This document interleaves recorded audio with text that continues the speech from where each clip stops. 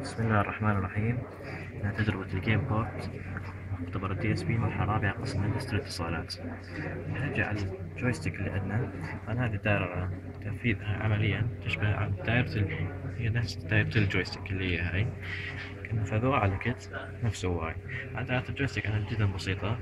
بس تحتوي على دقم مقاومات طبعا المفروض تكون متغيرة. بس إحنا أغراض الدراسة كان نحط مقاومات ثابتة وهذه داخلها مقاومات متغيرة. بالنسبة لل joystick الرئيسي. هاي المقاومات الثابتة واحدة تمثل قيمة ال X ولا قيمة ال Y طبعا هاي طبعا عندنا ال interface ال interface الموجود بالحاسبة يستقبل two joystick يعني joystick ين سوا. فعلى أساس هذه joystick 1 joystick B وهذه joystick A عندنا عندنا ال interface نفسه. يعني كلش دائرته أيضا بسيطة جدا. يحتوي على ال buffer اللي يخزن حالة يخزن حالة الدقم الموجودة ويحتوي على monostable circuit monostable multi monostable multivibrator هي عبارة عن timing circuit إيش تعمل هذه الدائرة؟ تحتوي على مقاومات متسعة راح تكون مربوطة أيضا مع هاي المتسعات الموجودة المقاومات الموجودة هون. هاي باعتماد على قيمة هاي المقاومة. المقاومة المتسعة الموجودة بال multivibrator راح يتولد لنا شحن تفريغ هذا الشحن تفريغ ال monostable multivibrator. راح تحولنا اياه على pulse width لأنه الحاسب ما تتعامل مع ال analog عن طريق العرض من ال pulse width راح نعرف قيمة المقاومة. خلال المعادلات راح نجي عليها بعدين إن شاء الله. راح نجي نشأ إنه هذه ال joystick مالنا. قلنا تحتوي على مقاومات متغيرة. مربوطة بالشكل هذا.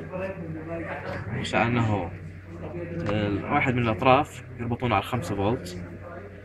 طبعا راح يكون هاي إكس هاي الاكس وهاي الواي راح يكون واحد متعامد مع الآخر مربوطين سوا. واحد من الأطراف هذا هو الطرف المشترك يربطون على خمسة فولت. الطرف اللي بالنص هو اللي راح نقرانه كله اثنيناتهم هاي لل X وهاي لل Y والطرف الثالث يبقى إيش عندنا؟ عندنا هاي ال connector 15 pin يسمونه DSUB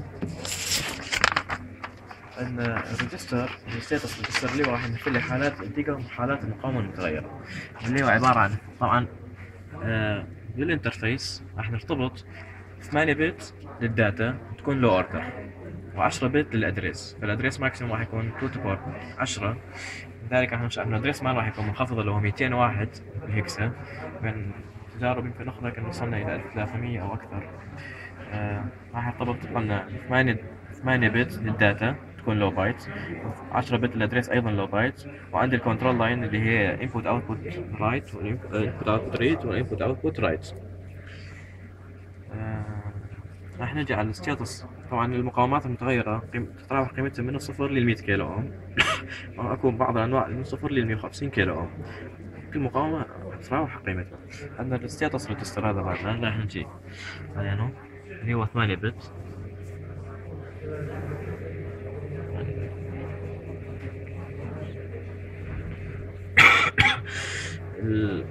هذه ال high nibble هي قيمة ال button. ال buttons هذه الدقم. وهذه المقاومات. راح نجي أول واحد مكتوب عليه إنه BA1 معناته هاي ال B يشيرون على ال button وهذه A1 معناته دقمة A1 ال A تابعة لل... يقصد تابعة لل joystick A عندي BA2 معناتها هاي دقمة 1 من ال joystick B هاي دقمة 2 من joystick A عفوا دقمة 1 من joystick A دقمة 2 من joystick A عندي B B1 و BB2 معناتها الدقمة الأولى من joystick 1 من joystick B والدقمة الثانية من joystick B وعندي ال BY يعني ال Y position مال B وعندي ال BX يعني ال X position مال B وعندي ال AY ال Y position مال A وال AX ال X position مال A هذول كل هذول راح يكونون active low كلهم. إيش عندنا بعد؟ طبعا هاي بالنسبة للدقم كلش سهل. مجرد أعمل in port واقرا قيمتهم. إذا كانوا صفر معناته الدقمه مضغوطة. إذا كانت واحد معناته الدقمه غير مضغوطة. بس عندنا مشكلة بال نوعا عندنا شوية من الصعوبه حساب قيم المقاومات. حساب قيم المقاومات إحنا شو قلنا دائرة ال monostable تحوي على على متسعة. متسعة. مقاومة 2.2 كيلو. هذه مربوطة مع المقاومة المتغيرة الموجودة بال joystick. هذه موجودة بال interface. هذه. وهذه المقاومة المتغيرة موجودة بال joystick نفسه. راح يكونون مربوطين. هذا إيش راح نجي نعمل؟ راح نجي ندز بلصات إحنا نخرج على هذا قيمة عندنا ال address مالنا قلنا 201 hexa نخرج له أي قيمة كان راح ترسل له بلصات فراح متسعة. راح تشحن وتفرغ طبعا عندنا ال tau يساوي لنا RC معروفة. فراح تشحن. وهذه المقاومة راح تأثر. م- مربوطين سوا. فايش راح يصير؟ راح راح ندز بلصات فراح تشحن. وزمن التفريغ راح يعتمد على قيمة هاي المقاومة. راح نجي الشكل مثلا راح يكون الشكل زي ما انت شحن تفريغ عندي دائرة ال monostable تحول لي إلى pulse width إيش عندنا أنا عند بالحاسبة نفسها أكو كاونترات راح تبدي من بداية هذه راح يبدي يعد راح يبدي يعد ال counter داخل الحاسبة. بنهايته يتوقف. فإحنا العد الكلي لل counter راح نستفاد منه خلال نعرف ال width مال ال pulse من عرفنا ال width مال ال pulse راح نعرف. آه، قيمة المقاومة نفسها عن طريق هاي المعادلات. هاي المعادلات راح نستغلها عشان عندنا time interval هذا راح نحسبه عن طريق ال... قلنا ال counter الداخلي من الحاسبة. من ال time interval راح نطيق اطلع قيمة المقاومات.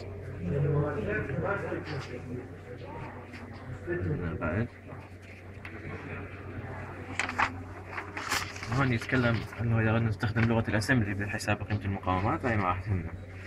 راح نجي على على ال procedure راح نجي على ال procedure خطوات العمل. ال connect the cable of game port بالبداية راح نجي ندرس على هذا. هذا نجي نربطه بالحاسبة ورا الحاسبة. موجود ال game port هذا ال interface. هذا. هذا هو. هذا هو. إذا يكون لونه أصفر هذا هو ال game port موجود ال motherboard من الحاسبة. نجي نربطه عليه. فعلا بعدين أنا ربطنا واحدة هوني وواحدة هنا. نقول read the game port register using بالبداية راح نجي نقرأ هذا ال register إحنا قلنا هذه إذا هي ما فعالين معناتها راح يكونوا خليهم يشتغلون ال active low بما إنه ولا دقمة ما مضغوطة معناتها هذول المفروض كلهم واحدات. وهذول ما علينا منهم.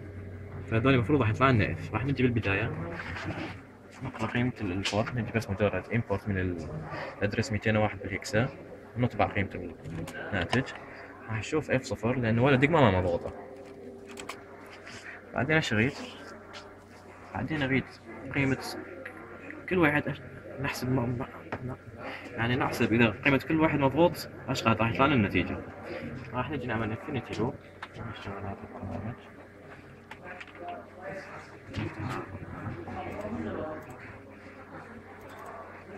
إيش راح نجي نعمل؟ infinity loop كل شوي نقرأ قيمة هذا ال port حتى نعرف قيمة الدقم راح نجي ننفذ هسه أيضا ولا دقمة ما مندوسة لذلك ما عندنا ناس راح يكون F راح نجي ندوس button A1.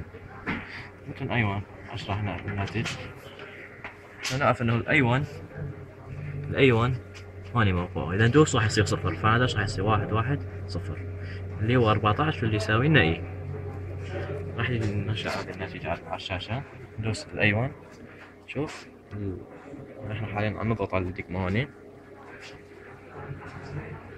راح يكون الناتج A نفس الحالة بالنسبة للبوتن A2 الضغط راح يصير واحد واحد صفر واحد اللي هو دي.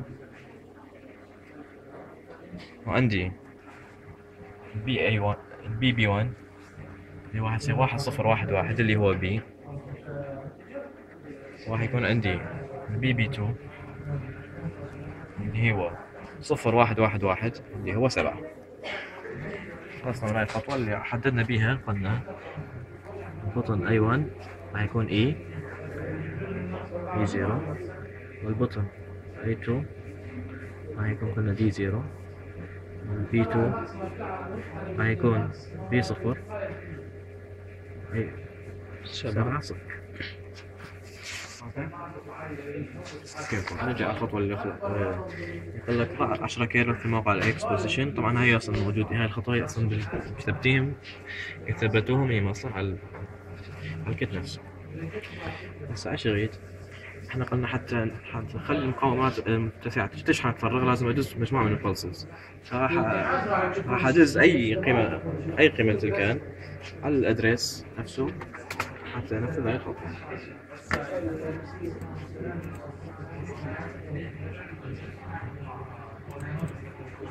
هذا مجرد outport أي قيمة كان أي قيمة كان نتحكم فيها بكيفنا صفر X F أو أي قيمة كان هو طالب انه اعمل delay اثنين. راح نجي ننفذ هذا البرنامج. راح نجي هسه نريد نقيسه بال oscilloscope نريد نرجع زمن الشحن والتفريغ بال oscilloscope نجي هذا ال ground طبعا أكو kit الأخ ما بين ground شلون تقلبون ال kit؟ راح ترجعون في وحدة من الجهات مربوطين عدة وايرات تمثل ال ground تربطون عليها راح نجي نقيس. زمن الشحن والتفريغ من المقاومة مقاومة. راح نجي على البداية هذا ال AX هاي المقاومة AX راح نجي نخلي oscilloscope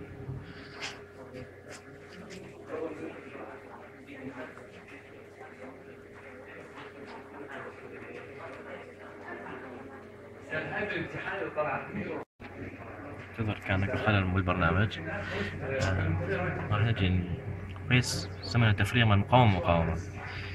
نربط على ال ground نجي نقيس قيمة ال AX بالنسبة لل AX نخلي هذا هوني هني نشوفها على ال oscilloscope وهذا زمن التفريغ هذا زمن التفريغ.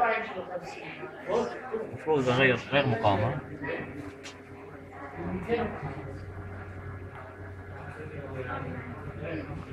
هاي غير مقاومة. لاحظ الزمن تغير.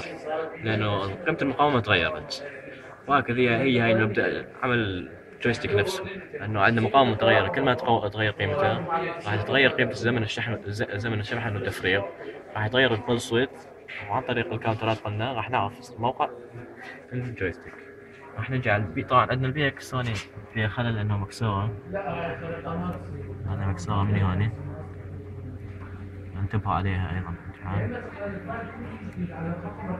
نجي هسه نشوفها. نعرضها تقريبا تقريبا ال BX تقريبا نفس قيمة ال BY بس راح نجي نشرح بالبرنامج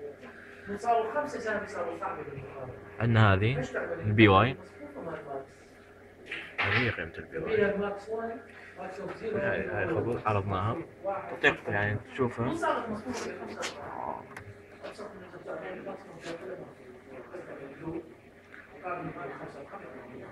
هاي الزمن تقدر تحسبها مربع مربعين. مربعين و 0.8 وتضربها في ال scale راح يطلع 280 micro second وهذا زمن التفريغ إذا طلبوا منك راح نجي.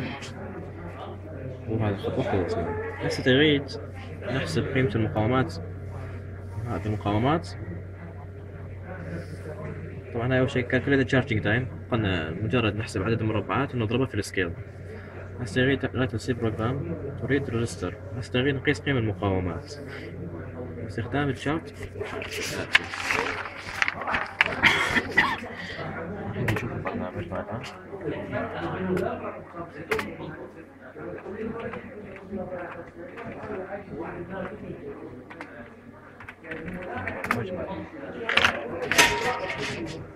راح نجي نحسب في البداية إحنا إيش قلنا؟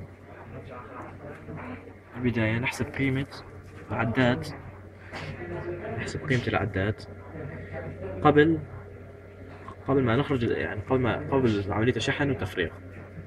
عشان راح نحسب قيمة العداد نخرج هذا ال address طبعا هذه الخطوات معقدة بس مجرد هاي تنحفظ حفظ. راح نخرج إلى هذا ال address. هاي القيمة مجرد راح نجي على الشاشة بداية عشان أحسب عملات أخرج إلى هذا ال address صفر. حتى أقرأ ال low byte وال high byte من الكاونترات الداخلية من الحاسبة راح أقرأ بالبداية ال low byte بعدين راح أقرأ ال high byte اللي هي هاي العملية. راح أعمل عملية قراءة low byte ثم عملية قراءة لل high byte بعدين شنو؟ لأنه إحنا ما نقرأ word إحنا غير نقرا بس عندنا نقرا byte byte لذلك قرينا low byte وبعدين ال high byte. هاي العملية C 1 إيش عملنا ال low byte. طبعا حتى هسه عندنا low byte و high byte. هذا ال low byte قريناه خليناه بال significant 1 وال high byte خليناه بال most significant 1 هسه أريد متغير اللي سميناه C 1 راح يتكون من word أريد اي هذه؟ اي هون نخليها؟ وهاي هون. فأحتاج إيش اعمل إنه زحف هذه. راح أحتاج زحفها ثمان بتات إلى اليسار. عملية التزحيف إلى اليسار اللي هاي بال C plus plus عملية تزحيف أي عملية shift لليسار هي نفسها ضرب في اثنين. فكان مع الزحف ثمان مرات فعندي اضرب كأنما في اثنين للأس ثمانية. اللي يساوي لنا 256 لذلك هون كاتب لك في إنه هذا. بعدين بعد ما زحفنا طبعا هذا. راح نجي نجمع هذا معانه هاي صارت كلها صفارة بعد التزحيف. راح تصير كلها صفارة راح نجي نجمعهم. راح ينزل هذا ال most significant هوني وال least significant هوني وهاي عملية لك طلب أشوف هوني يقول ال counter least significant زائد ال most significant في 256 لأنه هو عبارة عن تزحيف من بداية إلى اليسار. هاي هاي الخطوة اللي عملناها هاي العملية اللي عملناها C least significant زائد ال most significant في 256 يعني تزحيف من بداية إلى اليسار. بعدين إيش يقول؟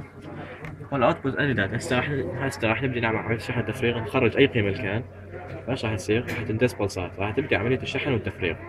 نخرج أي قيمة كان أي قيمة كان ال output أي قيمة كان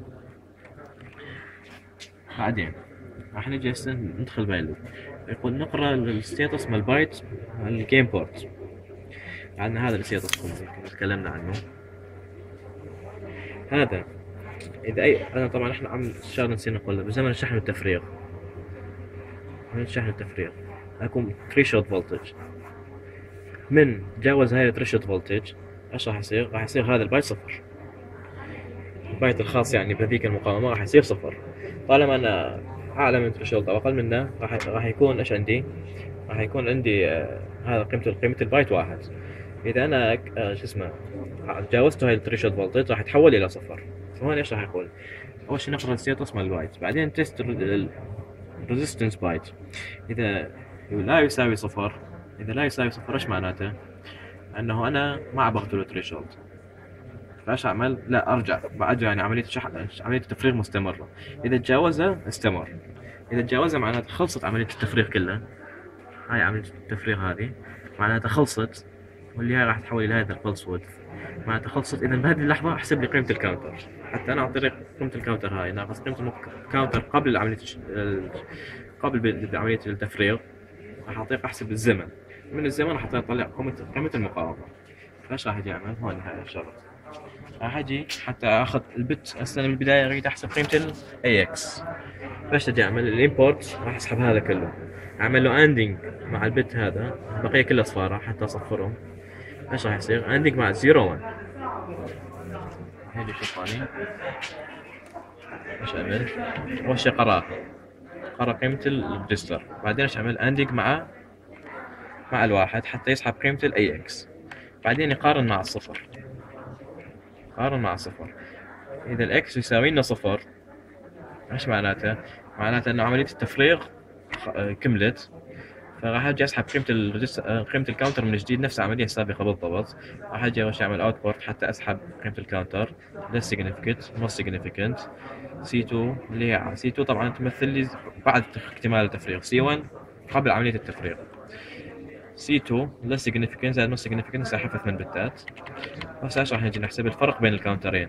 الفرق بين ال counter ين انه اطرح C2 من C1 absolute value حتى اتجنب السالب. بعدين إيش راح نجي ننفذ بعد ما حسبنا ال delta C. راح نجي على ال... راح نجي نطبق هذه المعادلة. المعادلة. راح نجي نطبق هذه المعادلة. إحنا عندنا time interval وعندنا delta T counter راح نجي نطبق هذه المعادلة. نحولها إلى لغة ال C plus plus راح تكون هي هاي. هذه. 3.8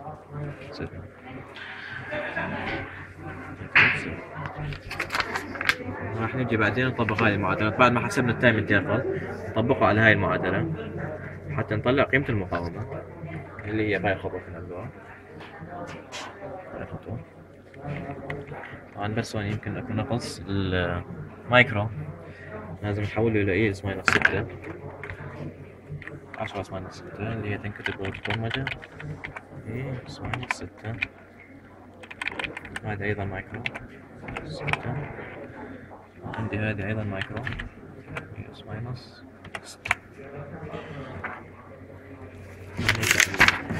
هين هاي المعادلات موجودة أصلا هوني. بعدين بعد ما حسبنا قيمة الار نطبع. طبعا هوني إذا قيمة البت ما تساوي صفر إيش لازم أعمل؟ لازم أرجع. هذه كلها داخل شرط إذا كان تساوي لنا صفر. هذه كلها نلاحظ. هذا الإف كل هاي خطوات داخل هذا الشرط. إذا ما يساوي لنا صفر go to اس ارجع. ارجع إلى هون يعمل لي inport وقارن إلى ان يساوي صفر وطبع لي قيمة المقاومة. نجي نفذ البرنامج.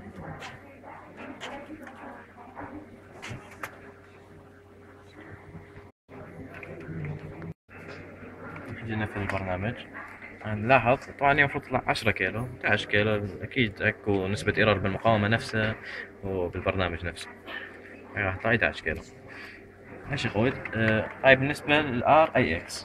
هسه إذا نريد نحسب ال RAY. RAY إيش لازم أعمل؟ اعمل anding مع هذول كلهم صفار بس هاي واحد اللي هي قيمته اثنين. نجي نعمل anding على اثنين. بعدين نعمل اثنين مجرد هذا قلنا طبعا RAX سجل هاي المقاومات. ال RAX قلنا هي تقريبا عشرة كيلو. عندي ال RAY. بس راح نسوي. نفذ هذه RAY. تقريبا خمسة وخمسين كيلو أوم. تقريبا خمسة وخمسين كيلو بعدين نحسب ال RBX. بس قلنا هاي المقاومة انتبهوا عليها تنفيذ تأكدوا أنها مربوطة بشكل صحيح لأنه بيها قطع.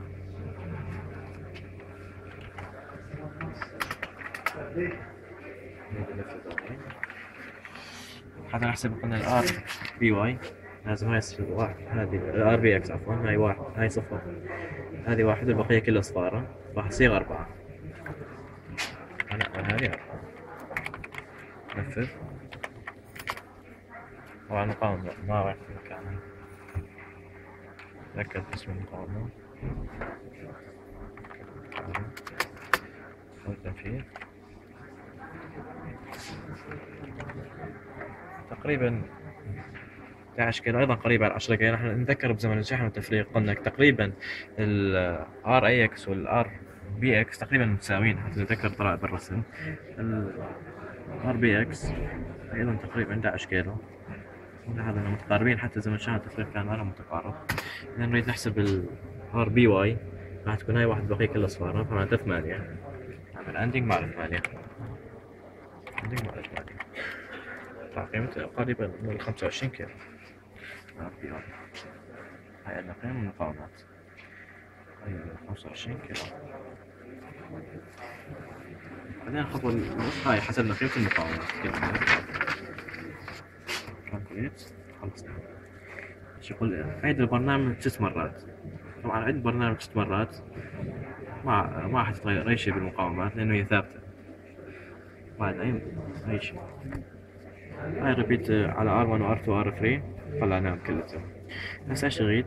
نريد نفصل هذا. نفصل هذا ونربط هاي ال joystick. بس عندنا ملاحظة. ان هاي ال joystick تطلعوا من البرنامج. حتى تربطوها تطلعوا من البرنامج. من البرنامج كله. نجي نفصل هذا. نجي نفصل هذا.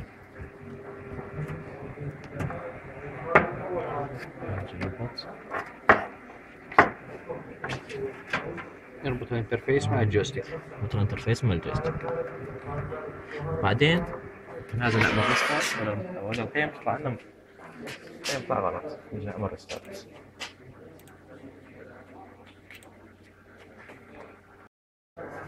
هسه بعد ما عملنا ريد restart الحاسبة. نجي ننفذ البرنامج هسه إيش يريد؟ يريد نحسب آه، طبعا إحنا كنا بهاي الدائرة اعتبرنا إنه آه، هذه joystick منفصلة عن هذه. هذه ال joystick لا راح تعتبر هي أربع دقم كلها تابعة ال joystick وهذه ما نفس الموجودة بال sheet هذه. ما نفس يعني لما أخذناها بال sheet هاي صورتها. أساس بيها دقمتين بس. هاي تختلف نوعا ما بها أربع دقم راح نجي نشيك أربعة دقم كل واحد يشغل قيمته اعتمادا على هذا ال register نمسك أربع هذه أربعة دقم اللي قريناها قبل شوية على هذا على هذا ال kit. نجي نقراها على هذه. راح نجي يقول لك اقرأ لي الأب والليفت والداون والأب آه right راح نجي بالبداية. من البرنامج نفس القراية من ذاك البرنامج السابق. نفس مجرد inport ونطبع قيمة ال من البداية. ما يصير ما ضغط أي دقمة. ولذلك راح يكون F لأنه أيضا active low راح ندوس ال right ال right راح يطلع من قيمته سبعة. راح تكون قيمته سبعة. سبعة zero زين راح نجي نضغط ال left راح تكون قيمته B قيمته B راح نجي نضغط ال up هي هوني. هاي ال up راح تكون قيمته E down راح تكون قيمته D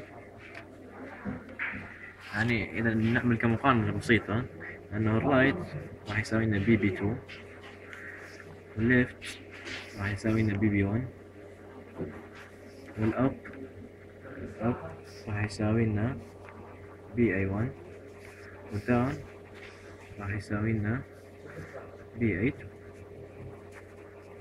هذا القيم طلعت هسه وش اريد عنه هسه يريد read the resistance value of AX in the, uh, in the center of uh, the, the, the end. تشغيل. قبل شوي اللي قسنا بينه هاي المقاومات الثابتة.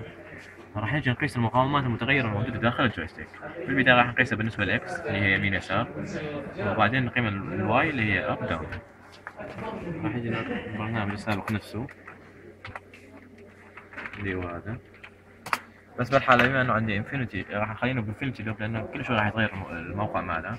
راح مجرد أضيف علينا هاجي أعمل infinity loop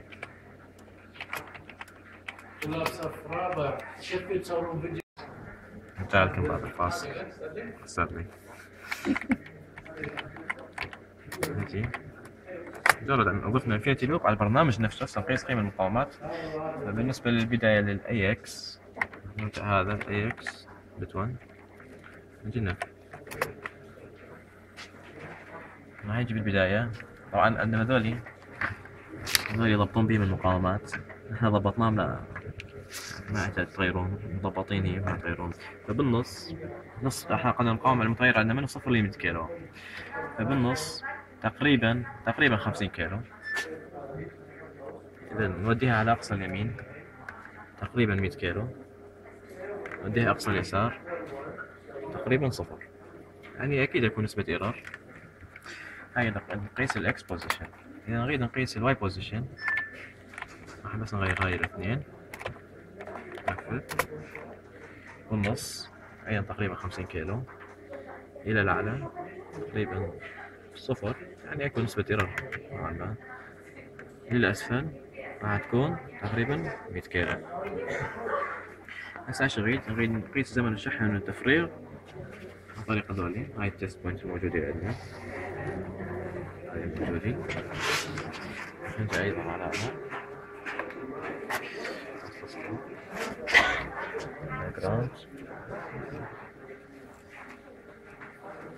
بوينت هاي بالبداية بالنص. هذا زمن الشحن. التفريغ هاي اللي على والله هاي زمن هاي الأعلى الأعلى بالله تايم قللوا قللوا ننزل للأسفل لحظة شد تسع للأعلى تقل راح ليش ما إحنا المفروض راح تخليه صفر بس عندك مقاومة 22 2.2 كيلو اوم وهاي أيضا بها نسبة إيرور. فلذلك راح يبقى على الشحن التفريغ هذه